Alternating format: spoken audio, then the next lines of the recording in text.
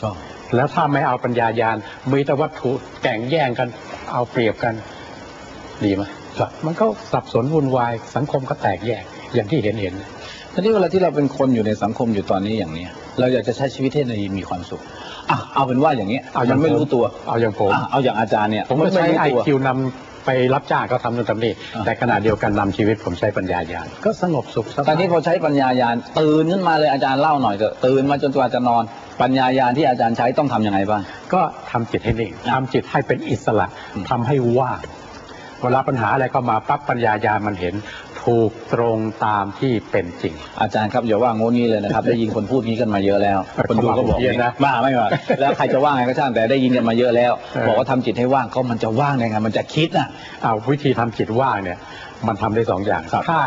มีสติมันจะโอกาสว่างมีครับแต่ถ้าขาดสติมันไม่ว่างมันจะคิดครับเนี่ยเพราะฉะนั้นต้องเจริญหรือฝึกสติให้มันมาก ๆ แล้วมันจะว่าง ว่างสองอย่างนะ ว่างโดยเข้าฌานได้ นะเป็นอุเบกขาในฌานสี่ไงครับหรือว่างโดยปัญญาเห็นแจ้งแล้วอะไรกระทบปั๊บอนัตตาอนัตตาอนัตตานะปล่อยวางเป็นอิสระจิตมันจะว่างสุดยอดตรงนี้ครับ ให้เห็นชีวิตว่าเป็นความเป็นจริงของชีวิตที่เป็นกฎตายตัวแน่นอนว่าอนิจจังทุกขังอนัตตาอยู่ทุกขณะแน่นอนเลยยังไงก็แน่นอน คุณไปพบเคยโกรธไหม เคยครับอ้าวแล้วขณะนี้ไม่เห็นโกรธอะอนัตตาแล้วยังไหมครับ เออนั่นแหละ คือมันไม่มันไม่ไม่เห็นนะนะครับ อืม มันไม่เกิดตรงนี้ไม่เห็นเพราะอะไรก็เพราะตัวเองไม่เอาตัวเข้าไปเลยครับ ไม่ไปฝึกเอาใจเข้าไปทำให้มันเข้าถึง เมื่อกี้ผมบอกว่าต้องเข้าถึงต้องมีสติตลอดเวลา เออเรามีสติตลอด ต้องรู้ตัวตลอดเวลา รู้นะฮะว่าสมมติตอนนี้โกรธก็ให้รู้ว่าโกรธ รู้ว่าโลภก็โลภ รู้ว่าหลงก็หลงให้รู้นะฮะ เออรู้แล้วเดี๋ยวมันละได้ ละได้ แต่ต้องจิตนิ่งนะ แต่ถ้าไม่รู้นี่ละไม่ได้เลยโอ้นะโหละไม่ได้มันก็ไปยึดติดตอนนี้จิตก็ตกเป็นทาสอ๋อตอนนี้ก็เป็นโรคประสาทบ้างเครียดบ้างโอ้ครับโหโรคต่างๆ ตอนนี้เพิ่มนะครับค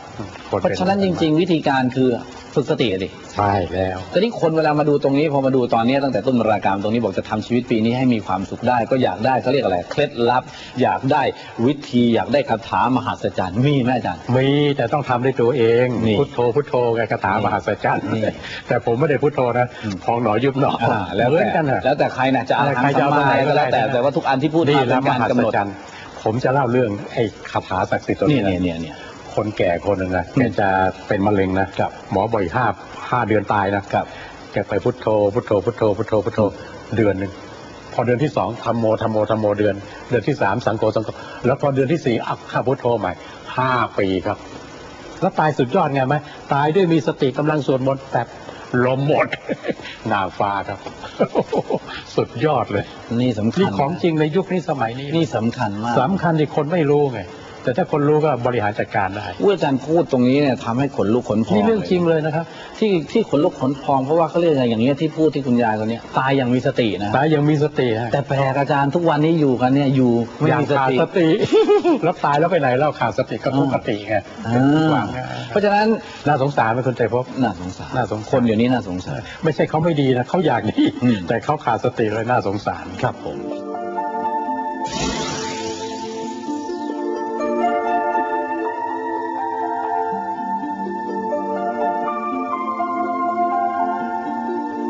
คนมนุษย์เราเนี่ยอย่าว่าแต่มนุษย์เลยแม้กระทั่งสัตว์แม้กระทั่งเทวดานะทั้งสัตว์กายหยาบกายละเอียดเนี่ยเนื่องจากมีอวิชชามีความไม่รู้จริงเนี่ยจึงได้เกิดเป็นความกลัวนะถ้าเรากลัวปั๊บเนี่ยเราก็ต้องหาที่พึ่งวัยรุ่นวัยอะไรสมัยนี้นะปล่อยชีวิตให้มันผ่านไป แล้วถ้าเกิดความดีไม่ทำแล้วถ้าเกิดมันเป็นอะไรไปแล้วมันจะทำเมื่อไหร่ล่ะ ไม่มีน่าสงสารไม่ทันไปแล้วไม่ทันซะไม่แล้วทันถ้าเขาว่าเราด่าแล้วของเราไม่ดีจริงโอ้ขอบคุณครับขอบคุณครับอืมเขาเป็นกระจกส่องเราเขาเป็นครูสอนเราอือฮึเรามองตัวเองไม่ออกอืมก็ให้คนอื่นเขามองครับมักน้อย ตามพระราชดำรัสของพระเจ้าอยู่หัวครับผมมักน้อย บริโภคใช้สอยเอาพอดีพอดีให้พอเพียงครับคุณมีสิ่งดีดีๆ แล้วคุณให้คนอื่นเออครับคุณได้เพื่อนหรือได้ศัตรูเล่าใช่คุณก็ได้เพื่อนก็พระเจ้าอยู่หัวทำให้ดูเป็นตัวอย่างแล้วไง อยู่เพื่อประโยชน์คนอื่นทำไมเราไม่ทำ เราเป็นข้าแผ่นดิน แผ่นดินนี้มีคุณให้เราได้มาเกิด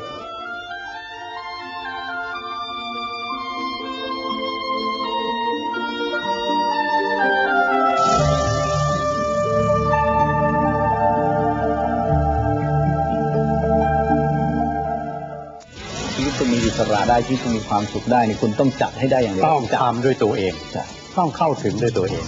ลองฟังไปไปไปอ่านตำรับตำราไปฟังไม่มีทางใช่มันต้องไปฝึกด้วยตัวเองครับฝึกอะไรก็ฝึกจิตให้มีสติไงอาจารย์แต่บางคนก็ทำแล้วมันมันมันทำแล้วมันวอกแวกอะอาจารย์ให้ทำไงอะศีลไม่บริสุทธิ์อ้าว ถ้าบอกแวกนี่ศีลเหลือยังไงอะเอาศีลสมาธิปัญญาไงครับแต่ว่าถ้าศีลไม่มาก่อนนะสมาธิไม่เกิดปัญญศีลที่ว่านี่เอาสักกี่ข้อห้าข้อพอเอาห้าข้อ ห้าข้อพอแล้วเฮ้ยให้มีนะไม่ใช่ว่าคุมกายวาจาไม่ใช่นะอืม ให้คุมใจ อืม ขนาดนั่งนั่งพุทโธพุทโธ แต่ใจคิดจะฆ่าเขาเนี่ย เสร็จไม่มีประโยชน์ไม่มีประโยชน์อ่านักนักปฏิบัติเนี่ยศีลต้องลงที่ใจครับไม่ใช่อยู่ที่กายวาจาไม่ใช่ตอนนี้หลายคนที่ดูรายการอยู่อาจจะมีความรู้สึกว่าเอาง่ายๆเฮ้ยข้อห้าฉันเลิกไม่ได้อะฉันก็ยังกินยังอะไรอยู่ เอ้ยอย่าอย่าคิดอย่างนี้นะฮะอ้าวทำไมเลิกไม่ได้อะเขาเลิกไม่ได้จ้ะ เมื่อมันเริ่มได้มันก็ต้องเลิกได้ดิใช่ นั่นมันคิดผิดอะ อ่าใช่อาจารย์เออเพราะฉะนั้นกำลังจะพูดว่าเขาต้องมีจุดเริ่มต้นก่อนใช่ไหมอาจารย์ใช่ ค่อยๆทำไปก่อนผมจะมาฝึกเนี่ยผมอยู่ในวงเล่านะอ่าทำไมผมยังเลิกได้ต้องค่อยๆทำไปเออค่อยๆทำไปพอสติมันกล้าแข่งเนี่ยมันเลิกเองอ่าแล้วอย่างน้อยที่สุดตอนกำลังรักษาศีลอยู่นะตอนกำลังมีสติเนี่ยมันรักษาศีลได้อยู่แน่นอน ได้แน่นอนอย่างน้อยสุดก็ได้ชั่วขนาดหนึ่งแล้วรวบรวมซะรวบรวมชั่วขนาดแต่ละวันให้มันเยอะขึ้น ก็เหมือนตักน้ำใส่โอ่งอะอ่า วันนี้ตักสามสามสามสามกระป๋องครับโอ้พรุ่งนี้เบื่อขี้เกียจไม่ตัก มาลืมตักต่อใช่ มันค่อยๆเติมเติมเติมเติมแล้วมันเต็มเอง แต่อย่าคิดว่าฉันตักไม่ได้ ตักได้ครับ อืม คนที่ตักไม่ได้คือเจ้าหญิงเจ้าชายนิทรานั่นแหละหรือคนเป็นอัมพฤกษ์อัมพาตใช่ แต่ว่าตักไม่ได้เพราะอันนั้นเขาขาดหมดทุกอย่างทำไม่ได้เนี่ยแล้วคนละนาสงสารนะวัยรุ่นวัยอะไรสมัยนี้นะปล่อยชีวิตให้มันผ่านไป แล้วถ้าเกิดความดีไม่ทำแล้วถ้าเกิดมันเป็นอะไรไปแล้วมันจะทำอะไรล่ะ ไม่มีน่าสงสารไม่ทันเลยไม่ทันซะไม่แล้วทัน พอพูดถึงตรงนี้คงมองเห็นแล้วนะครับว่ามันมีโอกาสนะเราทุกคนมีโอกาส อาจารย์ครับ อันเนี้ยทำชีวิตให้ได้ดีและมีความสุข เป็นหนังสือเกี่ยวกับอะไรอาจารย์คืออย่างนี้ครับหมายถึงว่าพัฒนาจิตเนี่ยนะอืมแล้วใช้จิตที่รู้เท่าทันเนี่ยอืมไปบริหารจัดการชีวิตครับทำให้ดีก็คือทุกขณะตื่นคิดพูดทำแต่เรื่องดีอืมไอ้เรื่องไม่ดีหยุดอืมหยุดคิดเลยอืมคือไม่เติมอีกแรกขยะไม่เติมใส่โอ่งละอืมนะก็ทำแต่เรื่องดีๆเติมเอาเติมน้ำใสอะ นี่แหละชีวิตมันจะดีอะโอ้โหนี่หลังแล้วเวลาทำคิดพูดทำเสร็จแล้วเนี่ยมัน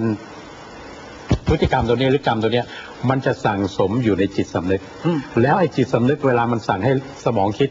ปากพูดกายทำนู่นทำนี่มันใช้จิตสำนึกที่มีแต่ดีล้วนๆเนี่ยสั่งนี่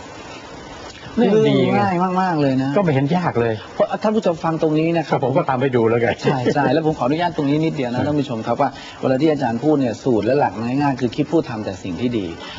ถ้าเกิดว่าเรายึดตรงนี้ได้จริง ๆ แล้วเนี่ยนะชีวิตมันจะดีไม่ดีเนี่ยชัดเจนมากนะครับแล้วมันไม่ต้องพูดเรื่องอื่นต่ออีกเช่น ถ้าผมผิดหวังจะทำยังไงเออผมสมหวังจะเป็นยังไง เออ ผมแฟนไม่รักจะเป็นยังไงเจ้านายอย่างว่าไม่ต้องไปคิดเลย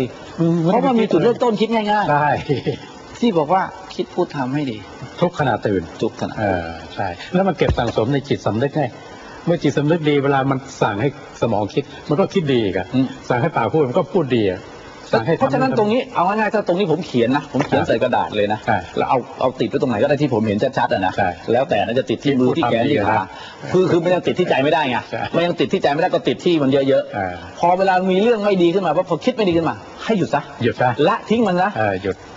หยุดตอนนี้อะไรมาเบรกอะสติอืมแต่ถ้าไม่มีสติมันเบรกไม่ทันมันปรุงอารมณ์ไปแล้ว นี่นี่มันครับสำคัญง่ายก็ฝึกตรงนี้แหละตัวเดียวๆอืมแล้วแล้วคุณได้พบนะที่คุณทำงานอะไร จริง ๆ แล้วเนี่ยถ้าถ้าคุณฝึกสติตัวเดียวไอ้สิ่งดีงามทั้งหลายมันตามคุณมาหมดเลยอืมเอาคนรู้จริงก็ทำอย่างนี้ครับแต่คนรู้ไม่จริงน่ะไปหาเงินไปทำนู่นทำนี่เสียเวลาครับ เอาสติตัวเดียวแล้ว